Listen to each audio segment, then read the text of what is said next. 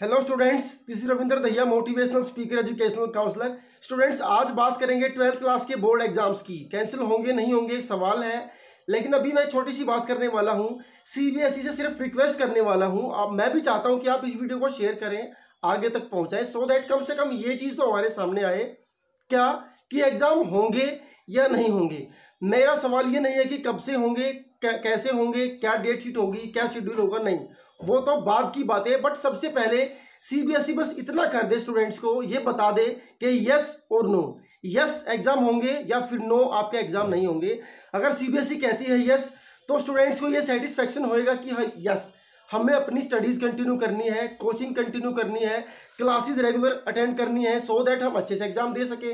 अगर सीबीएसई कहती है नो तो इसका मतलब स्टूडेंट्स के माइंड से ये बर्डन हटेगा कि नो अब एग्ज़ाम नहीं होने वाले अब हम आगे की पढ़ाई के बारे में सोच सकते हैं, कुछ काउंसलिंग सेशंस अटेंड कर सकते हैं।